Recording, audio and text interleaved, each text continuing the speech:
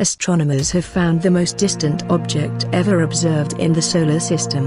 Known as V774104, the object is thought to be between 500 and 1000 kilometers across, making it less than half the size of Pluto. The discovery of the new mysterious object, and its distance from the Sun, is once again fueling speculation of Planet X. We don't know anything about its orbit, says Scott Sheppard of the Carnegie Institute of Washington. We just know it's the most distant object known.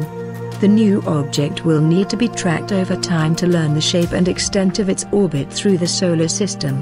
Whatever the case, scientists hope to finally unlock the mysteries at the farthest reaches of the Sun's influence and find out just what V774104 really is.